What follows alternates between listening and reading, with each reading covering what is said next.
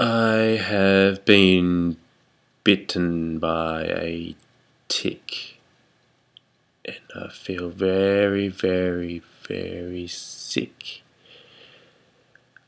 Um, the modern day addiction progress on, uh, I believe it's day three.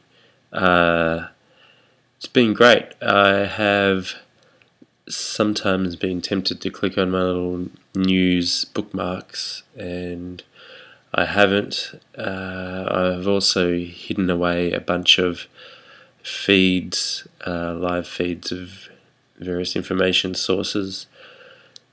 Um, if it wasn't for this tick fever, I would be feeling great right now, I believe. And now my mind is completely shut down. Well, not shut down, but there's been a bit. Um, I need something to read, and I've decided to read some C.S. Lewis stuff. It's uh, it's very easy to read when you're not feeling good.